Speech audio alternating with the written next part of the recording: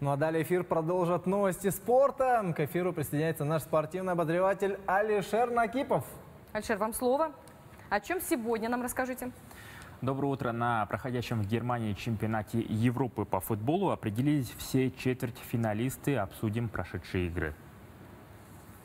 Также поговорим о старте ежегодного теннисного турнира серии «Большого шлема Уимблдон». Обсудим, кто в этом году фаворит первенства и есть ли среди них казахстанцы.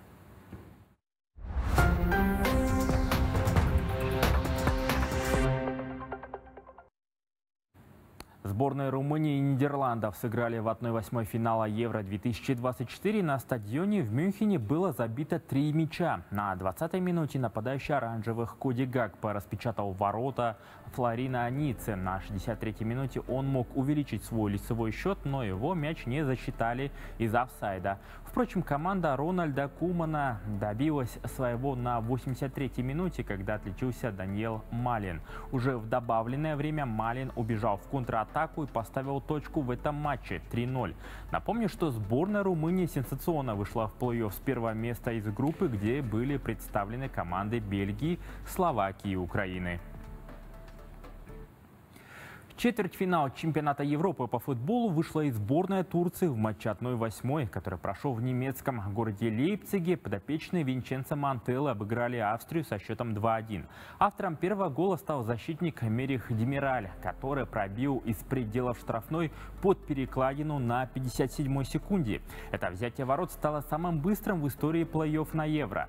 На 59-й минуте Демираль получил навес углового от Арда Гюлера, забил головой, оформил дубль и сделал счет 2-0.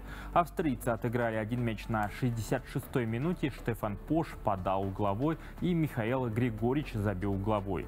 В итоге Турция стала последним четвертьфиналистом турнира и за выход в полуфинал сыграет с Нидерландами.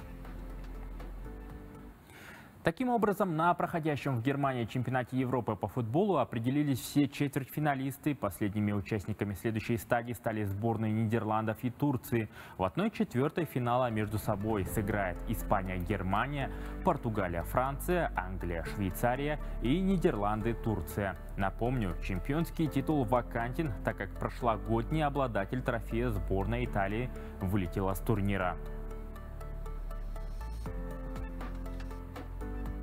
Коллеги, вот таким был обзор на сегодня.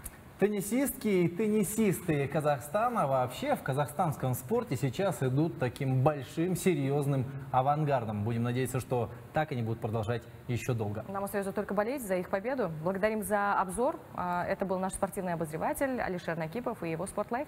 Мы продолжаем.